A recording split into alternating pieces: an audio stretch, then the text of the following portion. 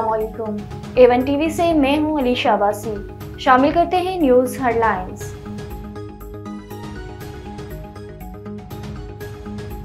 रहनमा मुस्लिम लीग नून साद रफीक ने कहा है कि Tehreek Insaf, PTI, people's party के साथ मिलकर मरकज में हुकूमत बना लें। मुस्लिम लीग नून को कांटू का ताज सजाने का कोई शौक नहीं। मुस्लिम लीग नून के दो अहम रहनुमाओं ने मरकज में हुकूमत बनाने के लिए अपनी पार्टी की कोशिशों की अलानिया तौर पर मुखालफत की है। इनका कहना है कि पार्टी इस कांटू बरे ताज को अपने सर पर सजाने की कोई ख्वाहिश नहीं रखती। वफाकी दारकूमत इस्लामाबाद में पाकिस्तान तहरीक इंसाफ के एहतजाज की इजाज़त के लिए दरख्वास्त मुस्तरद कर दी गई।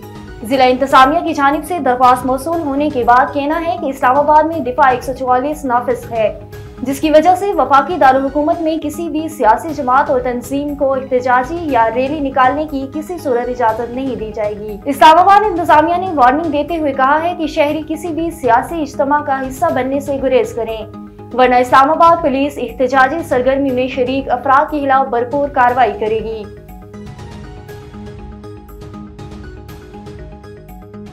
भारत में आम इंतबात से कबल मोदी सरकार अपोजिशन जमातों की मकबूलियत से बौखलाहट का शिकार होगी मोदी सरकार की जानब से भारतीय मरकजी अपोजिशन जमात कांग्रेस के अकाउंट्स मुंजमद कर दिए गए।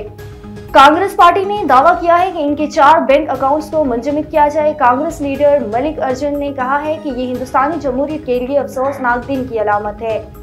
भारतीय तजर्बाकारों का कहना है कि मोदी हुकूमत कानून नाफिज करने वाले अदारों को अपनी सियासी दुश्मनों को निशाना बनाने के लिए इस्तेमाल कर रही है। हुकूमत साजी के लिए पाकिस्तान, पीपल्स पार्टी और मुस्लिम लीग नून कोऑर्डिनेशन कमेटियों का इजलास आज होगा।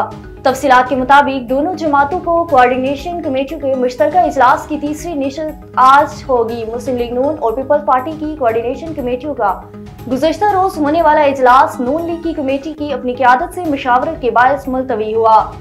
कोऑर्डिनेशन कमेटियों की दूसरी नशस्त में मुस्लिम लीग नून की जानब से इसहाकदार सरदार याद सादिक, आज़म नसीर तार, मलिक मोहम्मद अहमद खान शरीक होंगे, जबकि पीपल्स पार्टी की वफद में मुराद अली शाह कमर जमान कायर और दीगर शामिल होंगे। H B L P S L season nine का आगाज़ आज से होगा। इवेंट का इफ्ताही मैच दिफाई चैंपियन लाहौर कलंदर्स और इस्लामाबाद यूनाइटेड के दरमियान खेला जाएगा। तफसीत के मुताबिक H B L P S L season nine में एक ट्रॉफी के लिए छह टीमें चार वेन्यूज पर आमने सामने आएँगी।